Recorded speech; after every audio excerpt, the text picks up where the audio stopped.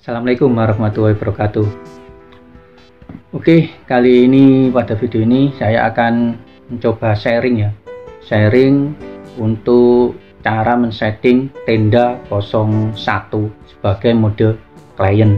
Nah nanti untuk akses poinnya nanti saya pakai tenda 003 jadi nanti untuk tenda 03 nya itu saya setting untuk PTMP oke langsung kita buka aja cara settingnya seperti apa kalian sesuaikan aja di sini untuk IP tendanya kemarin sudah saya setting.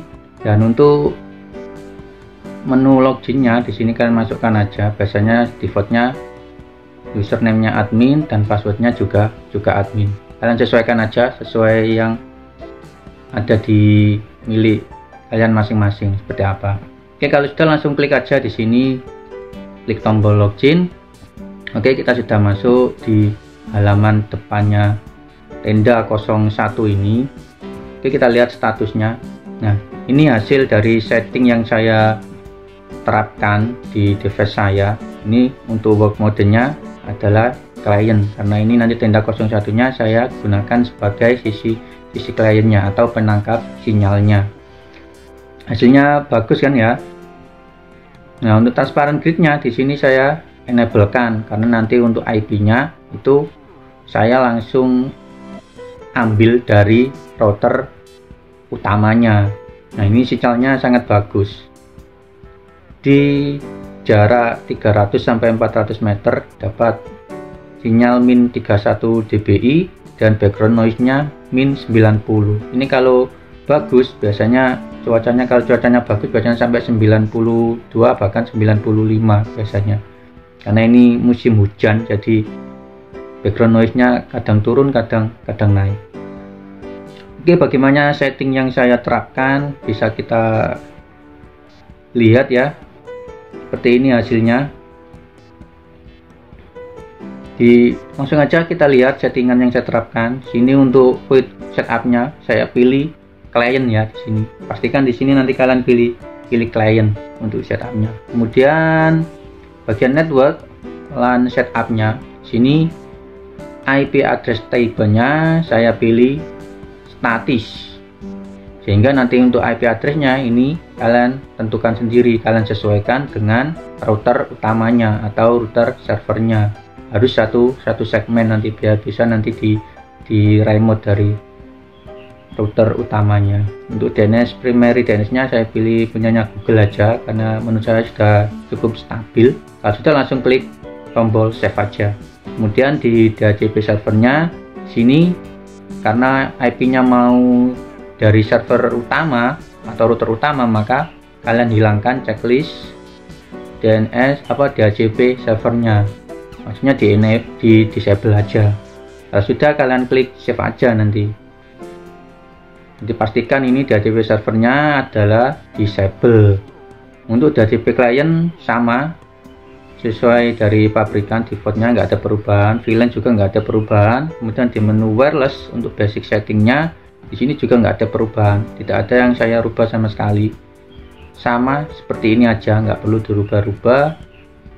Langsung klik save aja karena nggak perlu dirubah jadi nggak ada yang saya rubah sama sekali untuk di menu basic basic settingnya. Karena digunakan untuk klien klien mode.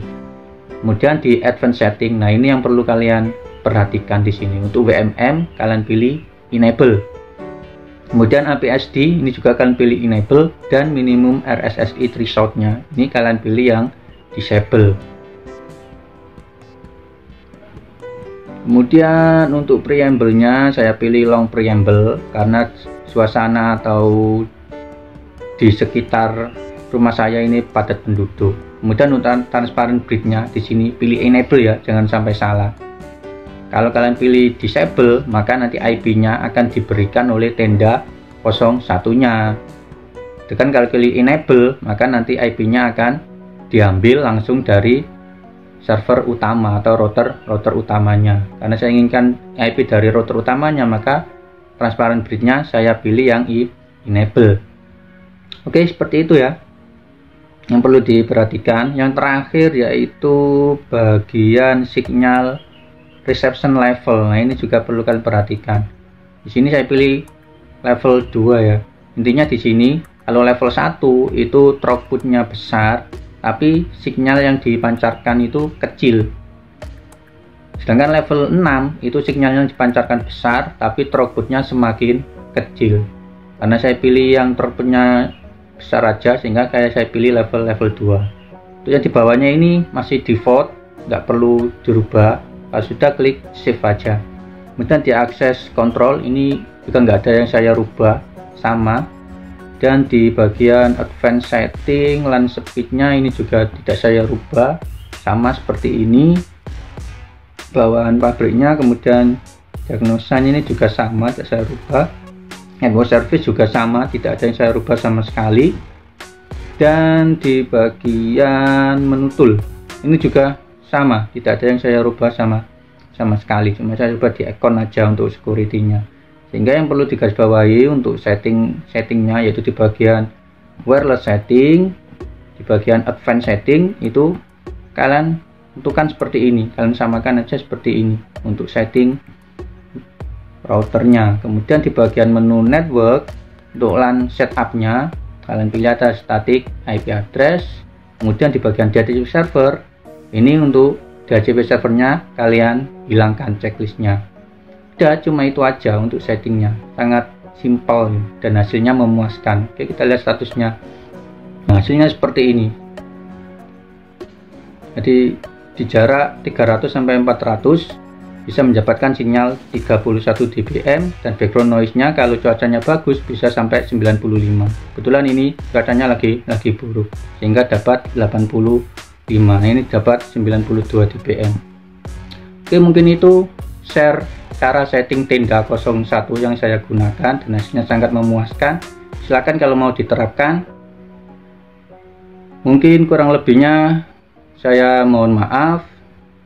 Saya akhiri. Assalamualaikum warahmatullahi wabarakatuh